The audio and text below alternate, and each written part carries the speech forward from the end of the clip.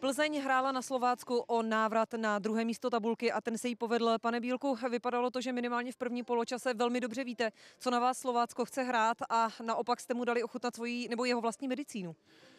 Tak já si myslím, že eh, ta první půle takových 30 minut bylo dobrých. My jsme chytli začátek, dali jsme tam ze standardky hnedka gól, eh, pozorně jsme bránili, pak jsme se nechali ke konci první půle eh, zatlačit.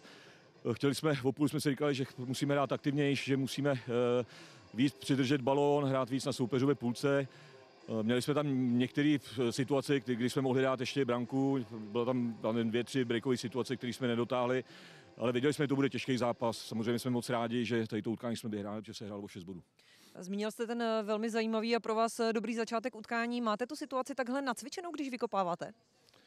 Tak většinou, většinou to také praktikujeme, že ten balon letí do levé strany, takže takhle to děláme v, v každém zápase. Sikoru s Moskerou jste roztrhli od sebe proto, že jste potřebovali na tom podhrotu trochu větší kvalitu? Uh, Myslíte v, hnedka v úvodu zápasu? Nebo zák... Tak do, do, do sestavy se eh, vrátil řezník eh, po, po trestu, tak jsme, tak jsme dali Sýkoru na post, kde, kde se cítil nejlíp a myslím si, že to odvedl dobře. Jste teď klidnější i směrem k postavení v tabulce a k tomu, že jste vlastně odskočili těm pronásledovatelům? Tak trošku jsme odskočili Slovácku, jinak samozřejmě Sparta, Slávě, ty jsou, ty jsou, ty jsou, ty jsou, tam, ty jsou tam s náma. Eh, jsme moc rádi, že se nám to povedlo, protože eh, Slovácko hlavně doma eh, hraje, hraje velmi dobře. I dneska potvrdilo svoji kvalitu, takže moc si to ceníme.